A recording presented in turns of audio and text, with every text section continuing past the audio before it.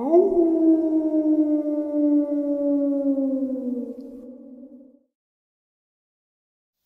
Well, greetings and salutations, everyone. I hope everyone is still doing well, and welcome to this night ending bonus upload. Before we jump into it, a couple links.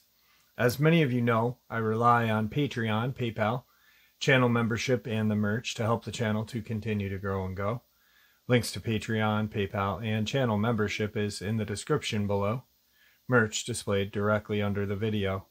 Also, Dogman Frightening Encounters, Volume 1 through 3, the audiobook versions. They were written and researched by Tom Lyons, narrated and produced by me, Jeff Nadolny.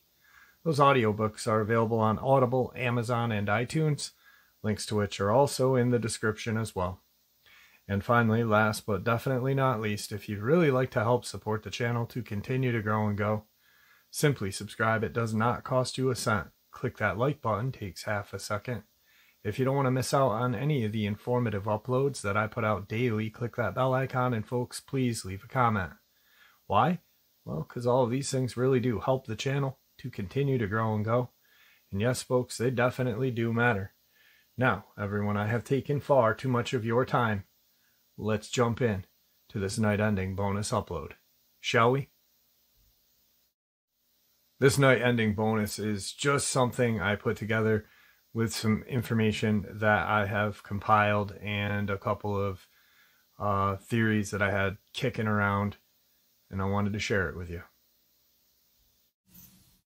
All right, folks. So, for the last six years of this channel, I have been sharing encounters and research that I've done on attacks and so on. And we've kind of all had our theories of where or what even dogmen are.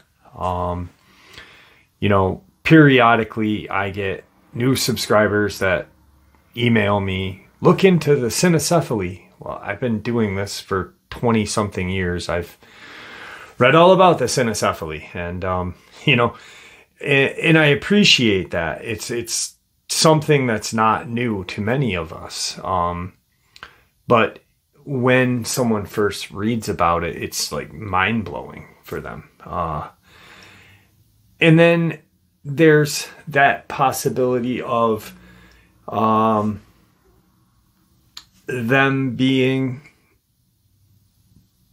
possibly some genetic offshoot of the Neanderthal. Um, I've talked about that a couple of different times. Well, today I kind of want to combine all of that. Uh, I'm hopefully going to have uh, a person that I was just a couple of days introduced to uh, on this channel. And his research is into the biblical um, kind of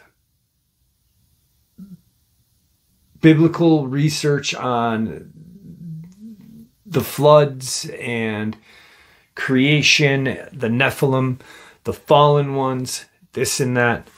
And, uh, you know, he did a really great upload about dogmen in the Nephilim. And I watched his video, and, um, you know, it was a ton of information that had been compiled. Information that I've shared on the channel, that others have shared on the channel. But then with his look on the religious kind of aspect. You know, a lot of cryptozoologists don't look deep into that. They say they do, but that's not their forte. This gentleman's forte is the Christian kind of uh, history. Best way I can think of it. So hopefully in the next couple of days I'll have him on and he'll be able to share a lot of information with us, not about the dogmen, but about about things like um, the fallen ones, the floods, the this and the that, the the things that you know people just want to know a little more on, and um, I was blown away on one thing that he said, one key thing that he said. And uh, it was the Nephilim. Now, we all view the Nephilim as these giants, right? But because that's what we're told it's actually translated into. But it's not only translated into giant, but it's also translated into fallen ones too. Um, there's a couple of different translations and which you can you can look into i, I looked into it myself because i was like oh, i never heard that and i did and i was like whoa so that made me kind of look back at a couple of other videos that I've done. I've did videos on, you know, St. Christopher about a year and a half ago. I re-uploaded it about six months ago. Um, videos on the cynocephaly three, four years ago. Um, you know, just a lot of information that was never just put together and really made us think more you know? Um so that's what i kind of want to do. But i wanted to share this with you guys first.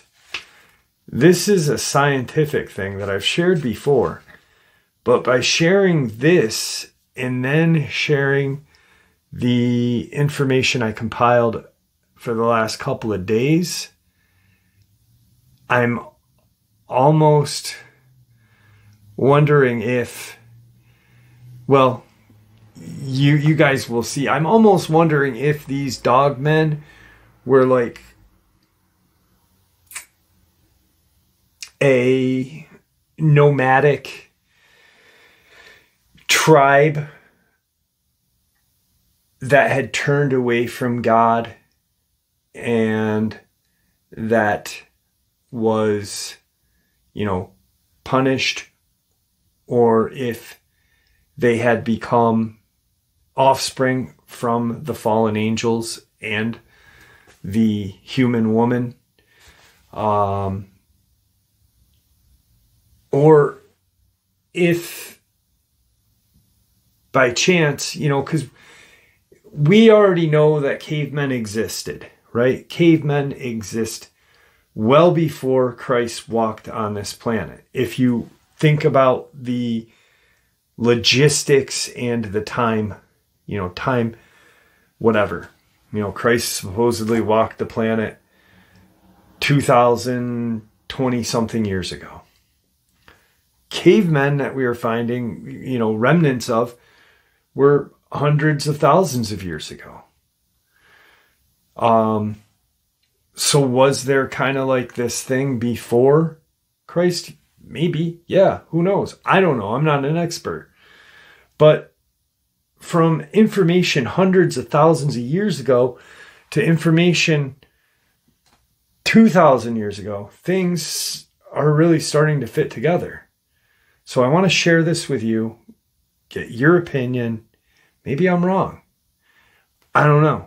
But is there really a way of proving right or wrong? These creatures may be interdimensional. How do we know God can't, God didn't create? Well, obviously, if there is this omnipresent, you know, being that I believe in, then he created this earth and all the other, he created everything, right? So if he created these interdimensional worlds, that means he created what's over there. I don't I, I just it's once you start going down these rabbit holes it gets real real touchy and I'm not I'm just kind of blown away. Um this wasn't even going to be tonight's upload. I actually just an hour and a half ago 2 hours ago talked to a uh, correctional officer for almost 2 hours about something that went down that I'm going to share with you guys probably tomorrow. Um out of Alabama blew me away. But anyway, I want to share this with you guys. So I'm just going to stop rambling and I'm going to get into the juicy details. All right, so this is the scientific um, thesis uh, from a man. His last name is Vendramini. He wrote a wonderful book um, that I have and I've read about, I don't know, 50 times. His name's Danny Vendramini. The book is called Them and Us How Neanderthal Predation Created Modern Humans. So I'm going to share this and then we'll get into some other crazy things. And I really just, I, Every human culture has believed in the existence of other beings, monstrous humanoids, sapient but inhuman. They have gone by different names boogeyman, bugbear, cyclops, giant, jun, ogre, omni, troll, yeti, bigfoot, dogman, and more. But they're always feared lurkers in the shadows, threats to the clan, tribe, and hearth.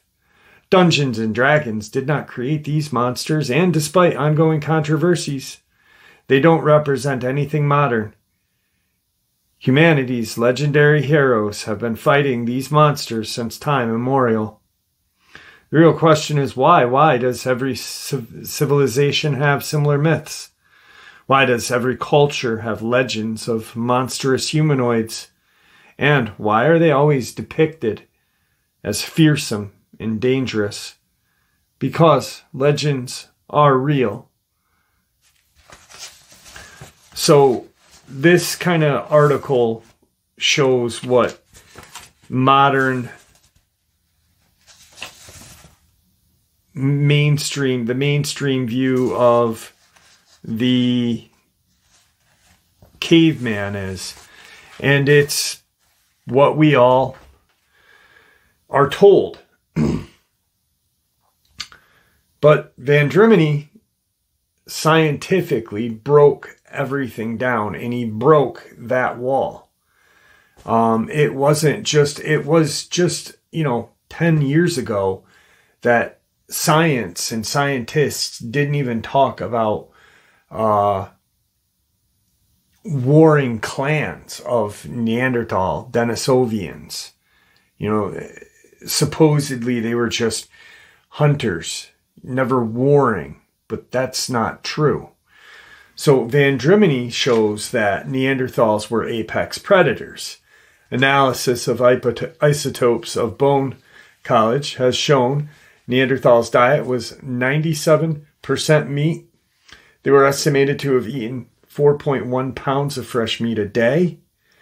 Uh, from the bones littered in their caves, we know Neanderthals hunted woolly mammoth, giant cave bear, woolly rhinoceros, bison, wolves, and even cave lions, possibly using stone tipped wooden spears. Neanderthals were cannibals. A number of Neanderthal sites reveal bones that have been cut and cracked open to extract marrow. While this hypothesis was initially rejected, a recent find at El Sidrón in Spain revealed numerous Neanderthal skeletons with unmistakable marks of butchery by cannibals wielding hand axes, knives, and scrapers. Neanderthals had more robust bones, a heavier muscular, a heavier musculature than Homo sapiens. They weighed 25% more.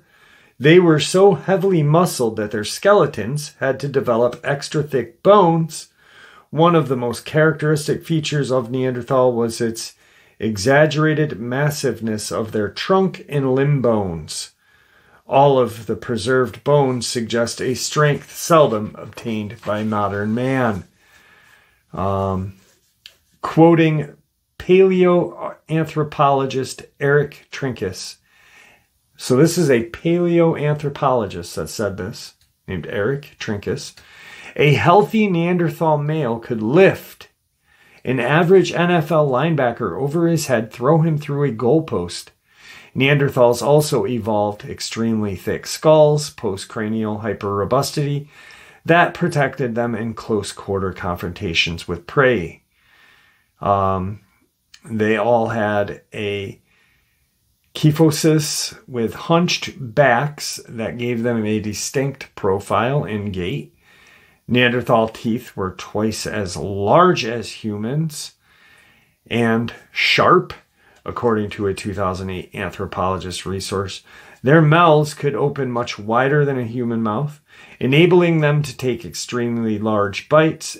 Judging by the size of their jaw, they had a tremendous bite force.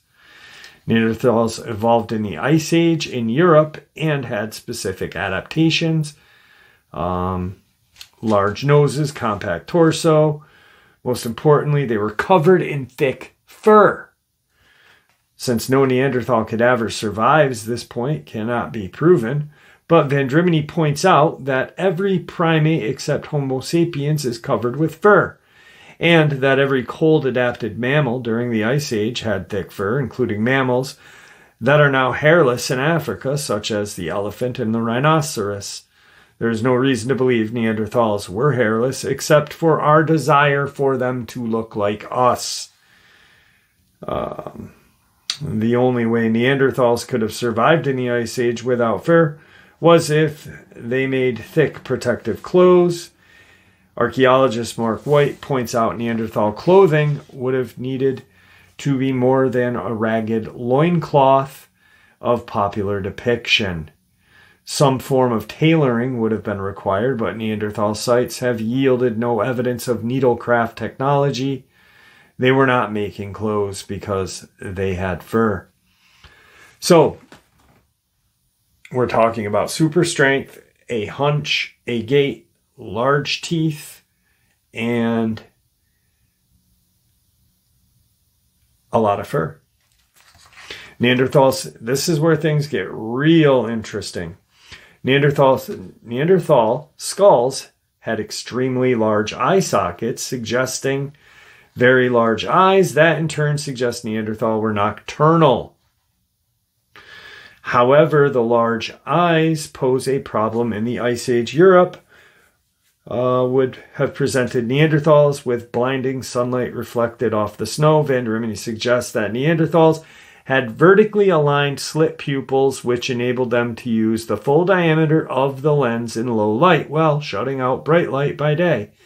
Nocturnal primates, such as the rhesus monkey and the owl monkey, all have large eyes with vertically aligned slit pupil. Vendramini suggests Neanderthal also had a tapetum lucidum like a cat that made their eyes shine in the dark and had a dark sclerilla like other primates. Neanderthals had a distinct facial prognathism that featured broad noses. Vendramini argues that this suggests Neanderthal snout with a dog like nose designed for scent hunting.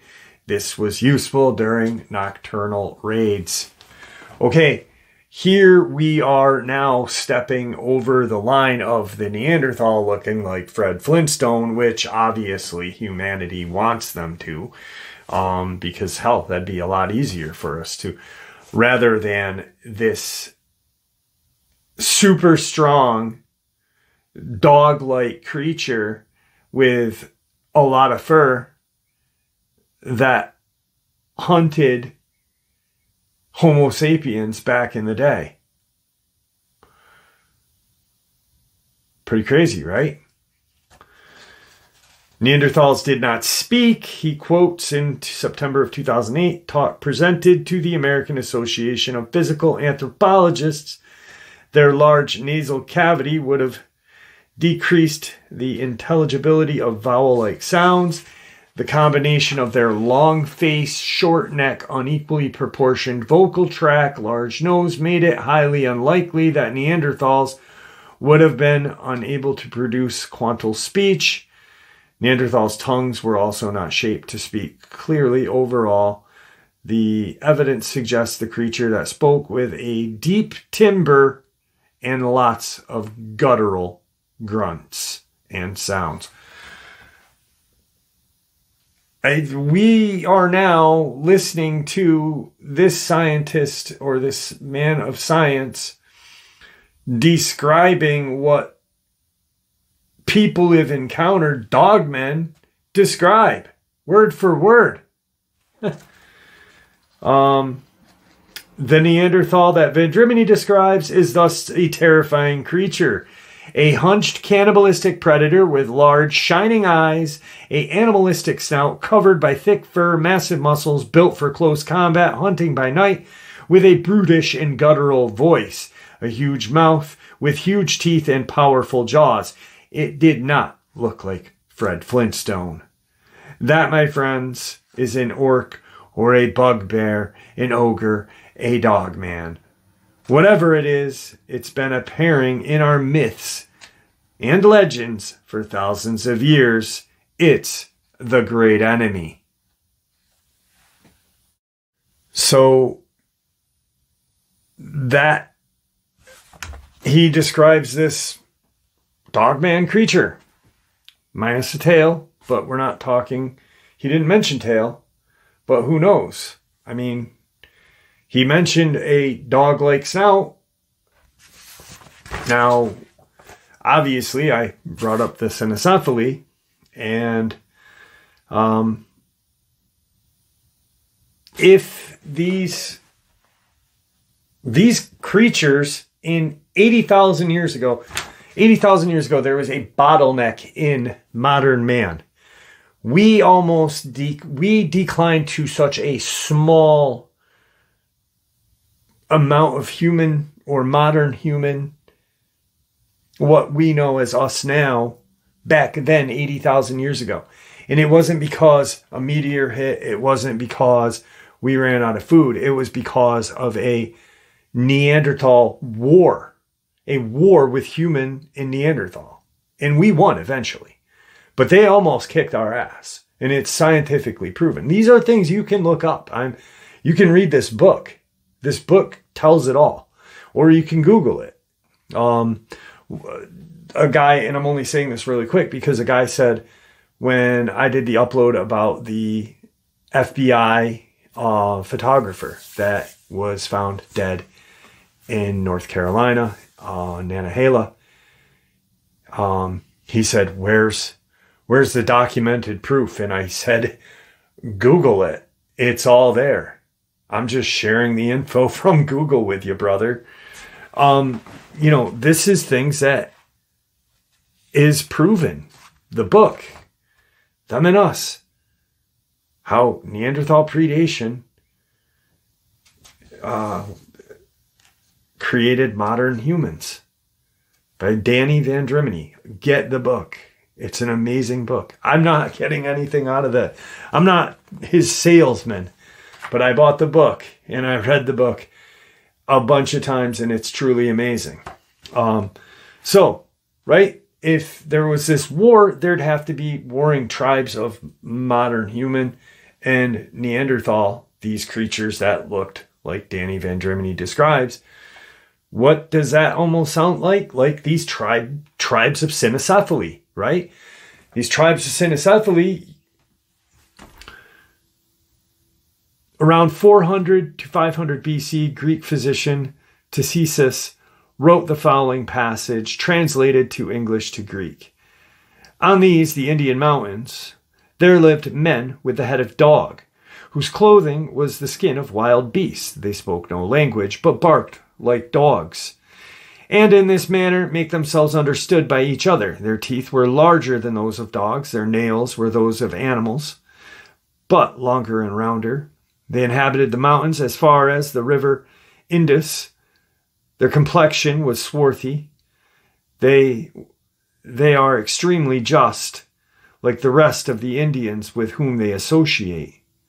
They understand the, Engli- the Indian language, but are unable to converse, only barking and making signs with their hands and fingers by way of reply. They live on raw meat, and they number about 120,000. The Cynocephali, living on the mountains, do not practice any trade, but live by hunting. When they have killed an animal, they roast it in the sun. They also rear numbers of sheep, goat, and asses, drinking the milk of the sheep and whey made from it. They eat the fruit of the siptachora. Hence, amber is procured since it is sweet. They also dry it and keep it in baskets, as the Greeks keep their dried grapes. They make rafts, which they load with fruit together, with well cleaned purple flowers and 260 talents of amber, amber, with the same quality of purple dye and thousand additional ten- talents of amber, which they send annually to the king of India. They exchange the rest for bread, flour, and cotton stuffs with Indians, for whom they also buy swords for hunting wild beast, bow and arrow, being very skillful in drawing the bow and hurling a spear. They cannot be defeated in war since they inhabit lofty inaccessible mountains. Every five years, the king sends them a present of 3,000 or 300,000 bows, as many spears, 120,000 shields, and 50,000 swords. Van Vendramini points out in that article that they hunted with spears. Do you see what I'm I'm just putting it together, you know, um it's it's truly it blew me away because I, I I'd read this. I'd shared this information before. And I've shared that, but I've never shared it together and I've never put it together like this. Which blew me away because I was like, the information was sitting right in front of you, you dumbass.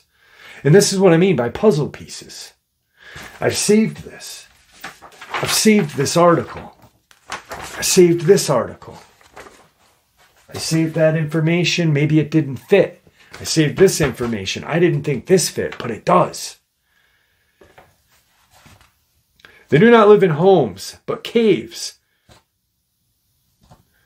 they set out for the they set out for the chase with bows and spears, and as they are very swift of foot, they pursue and soon overtake their quarry. The women have a bath once a month, and the men do not have a bath at all, but only wash their hands. They anoint themselves three times a month with oil made from milk and wipe themselves with skins. The clothes of men and women alike are not skins with hair, with the hair on, but skins tanned and very fine. The richest wear linen clothes, but they are few in number. They have no bed, but sleep on leaves or grass. He who possesses the greatest number of sheep is considered the richest, and so in regard to their own possessions, all, both men and women, have tails above their hips, like dogs but longer and more hairier. They are just, they live longer than any other man 170, sometimes 200 years. So here's what I'm just thinking you know, this bottleneck war broke out. These creatures that we possibly, Danny Vendramini calls Neanderthal, moved, just just pushed away. I mean, he describes them as living in mountainous regions, hunting cave animals, you know. So makes sense. So they move and they but they eventually come out of these mountains and they watch the people. And they start to trade with the people because they can see, hey, maybe we got our asses kicked. Let's just befriend and learn, you know? I'm I'm not guessing that these cynocephali came up with building rafts by themselves. I'm guessing they learned these from modern human. Makes sense. The great Marco Polo mentioned cynocephaly indirectly while describing his travels to an island of Anagamemnon. Anagamemnon is a very large island the people are without a king and are idolaters and had and no better than wild beasts. And I assure you, all the men of this island have heads of dogs and teeth and eyes likewise. In fact, in the face, they are all like big mastiff dogs. They have a quantity of spice, but they are most cruel generation and eat everybody that they catch, if not their own race. So Greek physician Ctesias talks about them having these purple flowers and this amber and this and that and trading. Marco Polo somewhat. So Marco Polo was uh, 12, 1300s. He was like born in 1258, died in 1334. So 1300 years if we go by BC AD, 1300. Uh, Ctesias was 400 to 500 BC. So we'll just say 1600 years apart. Ctesias, or Ctesias, or however you want to say it, C T E S I S I A S, Ctesias. Um, there was there was a large gap. There was 1600 years difference.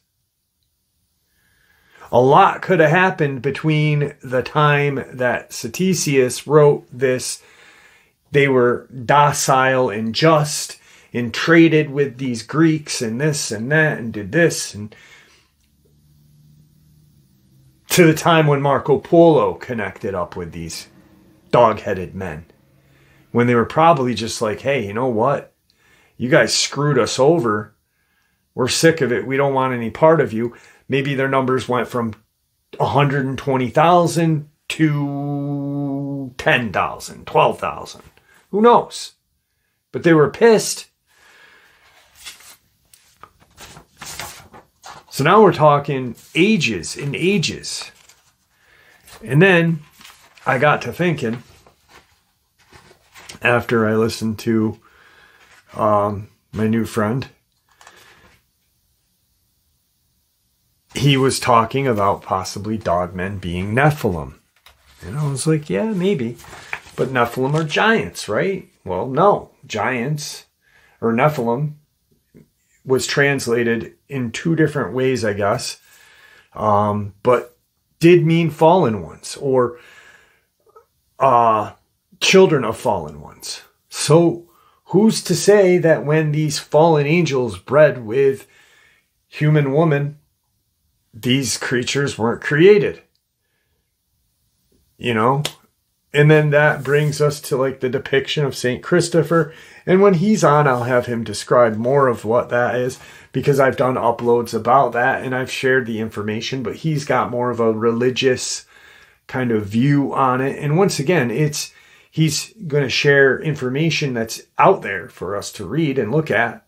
Uh, I shared it, but he's got a different kind of part. He's got a different look at it, a different take on it. You know, um, but I found this. I found this, and it was pretty friggin' interesting. Um, why would they depict Saint Christopher as a dog headed man.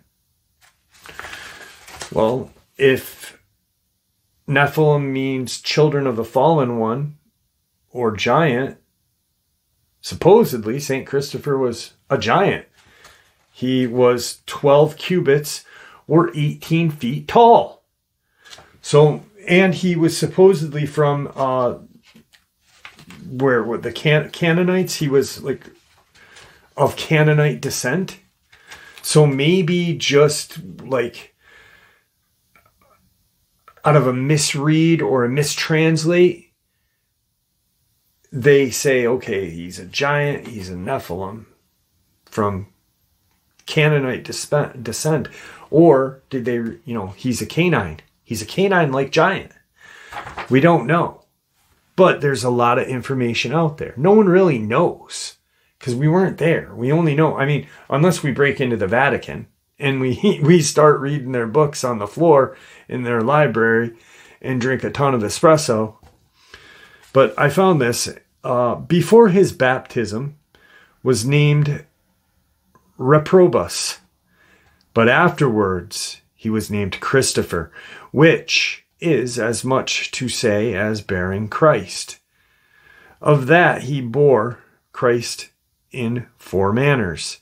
He bare him on his shoulders by conveying and leading, in his body by making it lean, in mind of by devotion, and in his mouth by confession and prediction.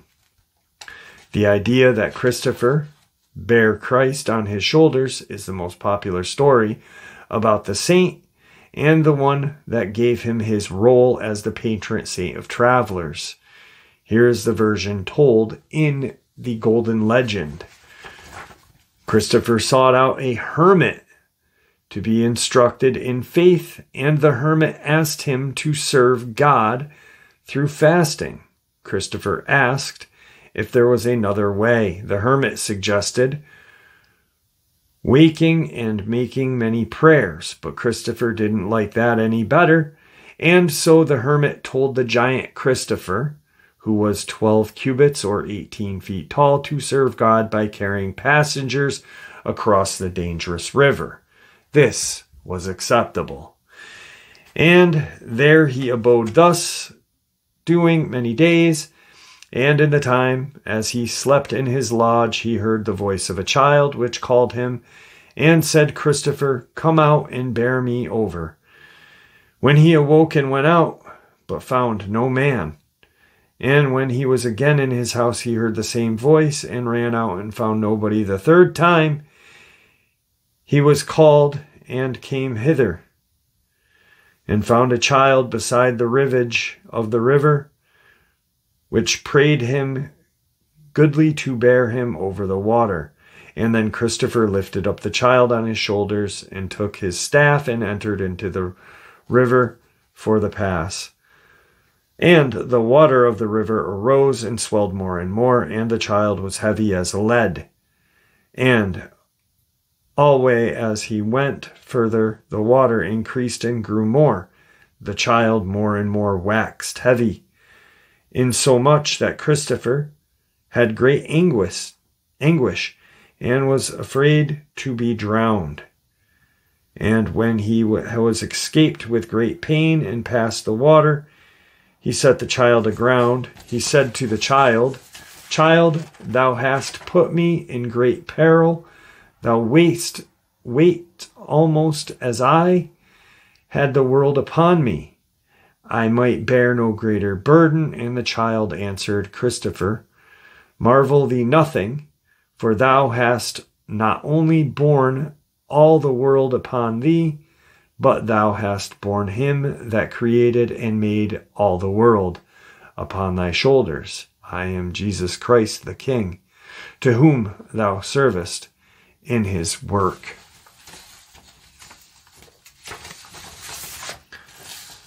So,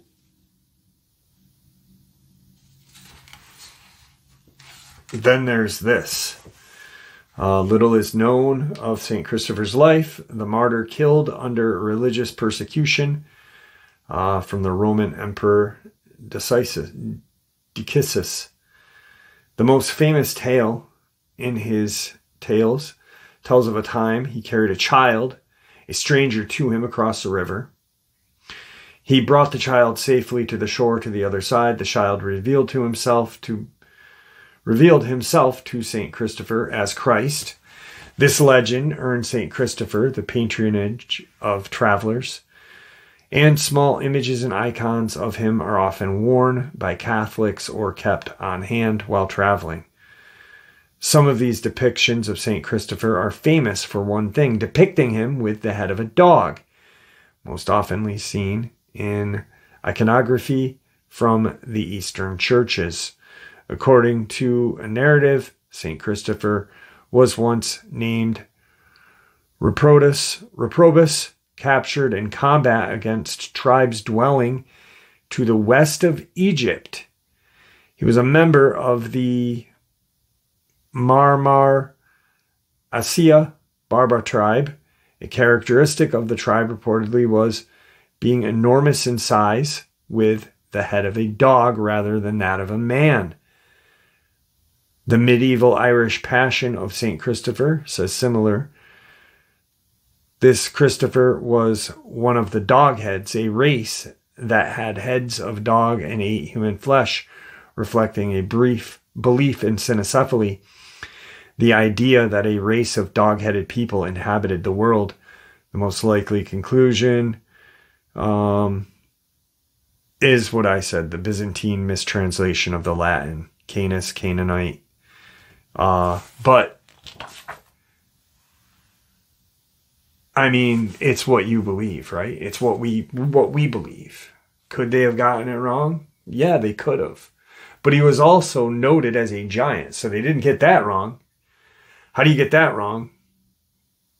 You can't, because he's not only depicted with the head of a dog, which I see, you could have gotten that wrong, you know, translation wise. But he was never, you know, you can't get the translation mixed up by him being 12 cubits high, 18 feet. Who knows? I'm going to have this conversation with with this uh, gentleman that I cannot wait to have on Airden. Um, but I was just thinking about this, you know, like I the Danny Van Vendramini and then the cynocephaly, things that I've shared multiple times on this channel. You know, there's over 2,600 videos on this channel. I've talked about cynocephaly, made probably 10 different videos on them, probably four or five on St. Christopher. Talked about Danny Vendramini three or four times, you know. But here's that thing. Once again, I'm going to go back. How I always say, guys, there is no experts. And if you hear something, take it. Take the information. Even if you don't agree with it now, you might agree with it later. I didn't know what I thought about the Dan, Danny Vendramini thing. I liked it. I thought that was an amazing. The cynocephaly kind of put it away. But then I started to think about everything and I was like, wait a second, this is all starting to fit together. It's all going together like a Rubik's Cube. Just my theory, you know? Once again, like I said, it's just a little theory that I had kicking around, some ideas. Just thought I'd share it. You know, with everything that we've been talking about and sharing on this channel, things are really looking the way biblically the way it, it uh it seems that we are at the precipice or at the beginning of the end of times. I myself don't believe that it is going to be anytime soon. I think things are going to get a heck of a lot worse before it ends. Just anyway, I hope you enjoyed this as much as I enjoyed sharing it with you. I'd like to thank you all for supporting the channel. After all, it is your support that helps the channel to continue to grow and go, and what gives us all a place to share our experiences and theories judgment free, simply treated with the respect that we all deserve. Everyone, please stay safe, happy, healthy, and ever vigilant, keeping an eye on our children, pets, family, and friends. These creatures are real, they are out there and dangerous. Share this information with those you love and care about, and it may just help save their lives someday. Until next time, never stop asking questions, never stop searching for the truth, and God bless.